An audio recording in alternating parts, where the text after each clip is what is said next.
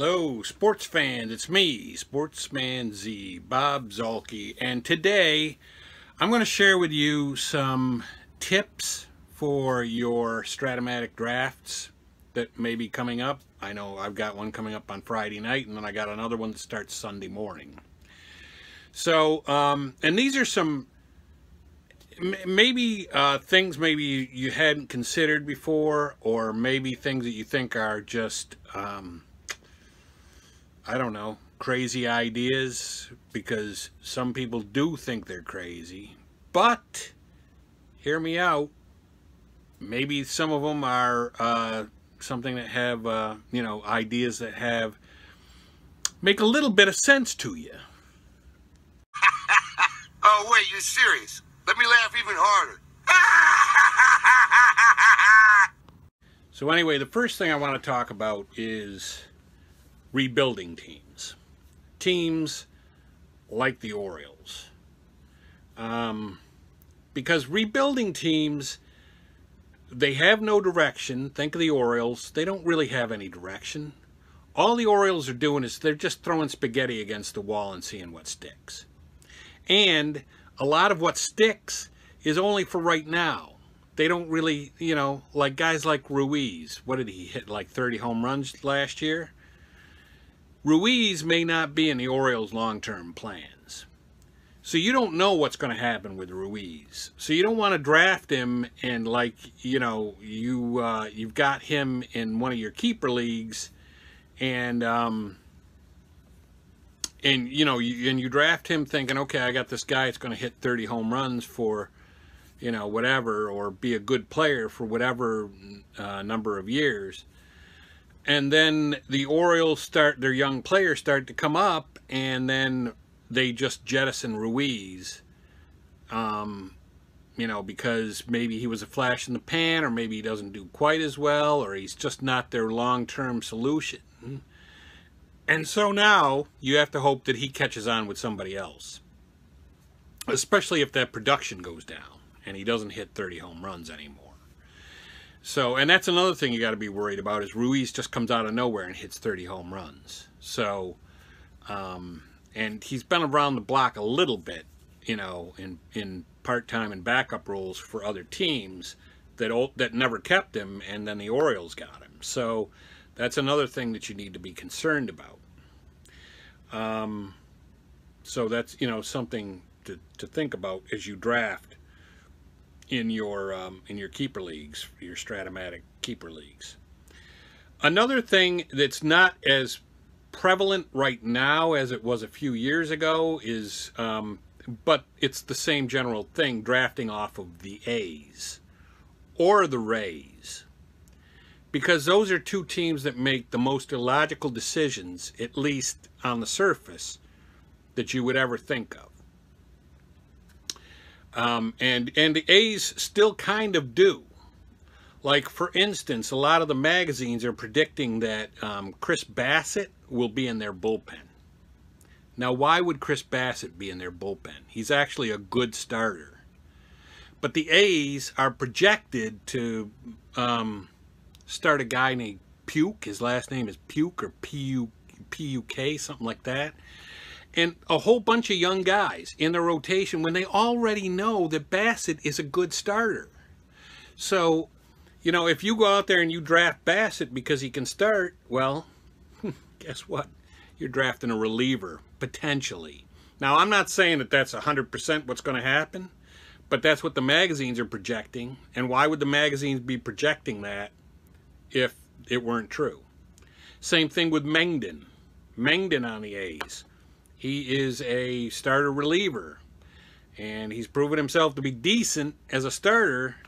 Why would you bring up a completely new guy that you've seen almost none of? Because there are two guys projected to be in their rotation this year that they have seen very little of. One guy had 12 innings, the other guy had like, um, I don't know what it was, but it wasn't a lot a lot of innings. But they've seen a lot of Mengden, and they've seen a lot of Bassitt, and they know that those guys are decent. In fact, Bassitt's really good. So why are they not starting him?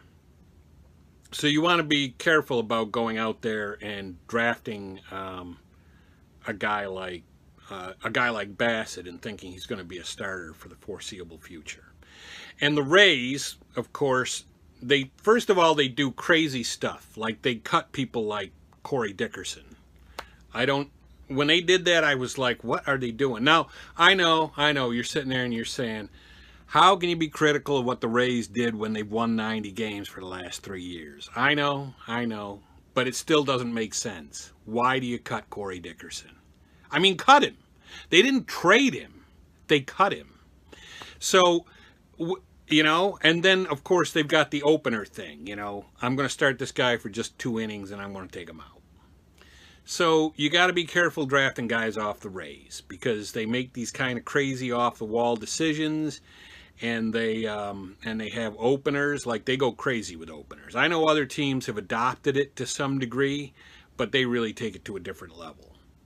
So you want to be careful about particularly drafting pitchers off of the Rays because you have no idea what how they're going to use them.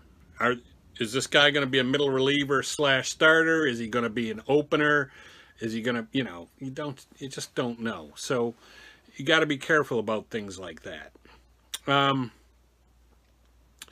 the other thing I would be careful about is drafting pitchers off the Brewers because you know we've seen that Craig Counsell likes to pull pitchers after four innings four and a half innings, you know, four and a third, whatever, four and a third innings, five innings, just for no good reason.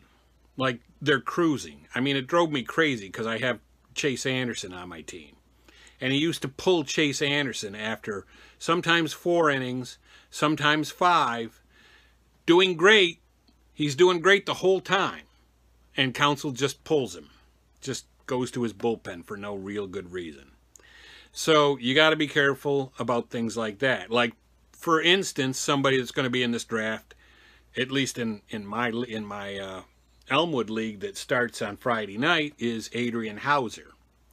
So now Adrian Houser, and there's other things surrounding Adrian Houser too, um, that we'll get into in a second. But just the fact that he's potentially could be a starter on the Brewers and he, there's a manager that'll pull him for just no good reason at all. And if you have limits that pitchers have to hit in your leagues in order to keep pitching, you know, to pitch an entire season, you want to be careful because that guy may not get to 110 innings even. You know, Chase Anderson, our our um, limit in our league for you have to get to 140 innings to be a full year starter. Chase Anderson got to 139. Not because he was bad enough to have only pitched 139 innings, because Craig Counsell is an idiot. That's why. So, but now getting back to Adrian Houser, though, other issues that you have with guys like him, you got to do your research because Adrian Houser started last year on the Brewers as a relief pitcher. And then for whatever reason, the Brewers came up with the idea of putting him in their rotation, and he did well.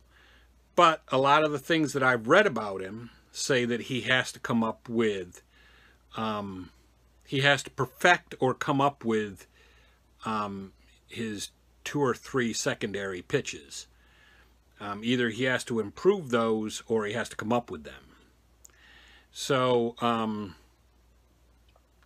that's um, something to think about too. Because if they start the year with him in the rotation and he can't perfect his secondary pitches, guess what? Craig Counsell's going to put him back in the bullpen. And I'm not necessarily saying that's stupid because a lot of managers might do that. But with Counsell, you just never know anyway.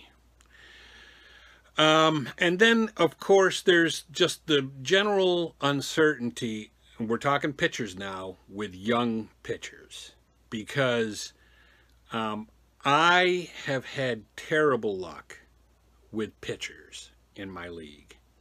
Absolutely terrible. Because you don't know anything about them. You don't know if they're injury prone. You don't know if they're really going to be in the team's rotation um, all year. you know, I'll give you an example is uh, Archie Archie Bradley. Archie Bradley's a great reliever now for the uh, Arizona Diamondbacks. I had him when he was a starter, and I was planning on him being a starter. Didn't work. They put him in the bullpen. So, if you have, uh, if you're drafting a young starter like that, you don't really know, and that applies to Adrian Houser. It applies to John Means, especially as I'm going back to, you know, the a the uh, Orioles are a rebuilding team, so they don't have any real plan in mind. So, um, because they're nowhere close. They're nowhere close. They're not like the White Sox. The White Sox, they came up to a certain point and they said, okay, we won 78 games last year, 76, whatever it was. So now we're this close and we have a bunch of great young players ready to come up. If we can sign a few veterans that are good veterans, we can have a good team. The Orioles are not even, they don't even see that horizon yet. So they don't care about John Means. They'll put John Means in the bullpen. They'll send him back down to, to AAA because he's got options. It doesn't matter to them. But he's also a 26 year old rookie there's a lot of things about John Means. I'm just gonna I'm gonna throw these out here. He's a 26 year old rookie. He started last year in the Orioles bullpen. Then, for some reason, maybe injuries or whatever, the Orioles were forced to put him in their starting rotation. And on top of everything, after they put him in the starting rotation, they seemed shocked that he was as good as he was all of those things, each one of those things alone is a red flag for me.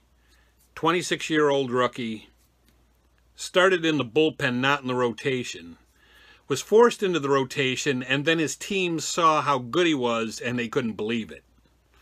So, I don't know. I mean, you know, all of those things say, don't draft that guy because he could be in the rotation this year. He could start the year in the rotation this year. In fact, I'm sure that they plan on starting him in the rotation.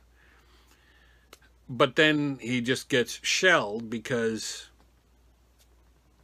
he uh, he really was just he just had a you know teams didn't have film on him and whatever they knew nothing about him and so he caught everyone by surprise. That won't happen in 2020. But even young pitchers in general, you know, you don't know if they're injury prone. You don't know, um, you know, you don't know that they're just because they had a good rookie year. You don't know that they're still gonna that they're gonna carry that on and they're gonna continue to be good. You know, like one of the guys was telling me, one of the guys in my league was telling me, "Oh yeah, you should have Plesac up there. You should have Civale up there." What do we know about those guys? Except that they pitched 60 innings or something, or 75 innings, or 72 innings, and they um, and they were pretty good. That's all we know. We don't know if you pitch them a full season, are they going to come up with the Tommy John surgery? We don't know if you pitch them a full season, are they going to get shellel, shelled, shellacked? You just don't know. In fact, you're almost better off taking a guy like Dylan Cease because Dylan Cease had 75 bad innings. So at least if you take him, you're saying, you know what, I'm going to draft this guy. He had a bad debut. There's the only place he can go is up. So again, I know they're kind of crazy ideas, but they're things to think about. Um, and so yeah, you know, but you're always taking a chance with a 27 year old rookie at anything, whether he's in the field or he's pitching. If he's a 27 year old rookie, a, a, perfect example I'll give you is Justin Bour a few years ago. Dude was only in the major leagues three, four years. Why? Because he was a 27 year old rookie. And there was a reason that he was a 27 year old rookie. And there's a reason why he's playing in Japan this year. So, you know, you got to watch those things. Um, and then another thing to watch out for, um, I know if you're, and this is mainly, this is kind of an obvious thing, if you can identify it, but maybe people that are new to strat leagues might not um, pick up on this. But you want to be careful about drafting guys who were obviously injury replacements during the year. Um, you can look at people's um, minor league records and see what they did in the minors. You can look at how they actually did. I mean, if they were an injury replacement, maybe they didn't do well at all and they were just forced into action. And you even have to be careful with some guys who did well, like Tauchman on uh, the Yankees. He had a good year. That guy played real well. But he he came to the Yankees because he was an injury replacement. They had too many outfield injuries, so they had to bring him up. Stanton went down. Um, the guy that they got from I don't know. I, I'm terrible with names right off the top of my head, but the guy that they had from the Twins or something that used to play for the Twins. Those guys they went down, and so the the Yankees had no outfield depth, so they had to bring up Tauchman and he did great. But now what happens this year? What if Stanton is fine and, you know, whatever, or he will be fine like a month into the season, and the uh, and that other guy, um, that whoever he was, whatever his name is, I can't remember. Um, but what if he's he's also back? What if they have their full complement of outfielders that they're paying big money to, like they are Stanton? Who's going to be the odd man out? It's going to be Tauchman because he probably still has options. So you got to be careful with stuff like that. I know that's that's maybe kind of obvious to people, but it's something to think about um, as you go along. So I, uh, you know, what did you guys think of that? At no point in your rambling, incoherent response were you even close to anything that could be considered a rational thought. Anyway, I'd be interested in uh, in what you think, and uh, you know, give me a thumbs up if you like the video. Leave comments below. Do you think some of my ideas were really just off the wall? Um, because you know, I am, and some of these things I'm saying don't draft. You know, I'm basically saying don't draft a guy like Means if you can avoid it. Don't draft um, a guy like Tauchman if you can avoid it, which might sound kind of crazy, but, you know, um, don't draft anybody off the A's. Okay, I'm not saying that. but uh, the, the A's, to their credit, they've gotten better. They're not as they're not as off the wall with their um, ideas. I think probably some of their their front office people moved to Tampa Bay.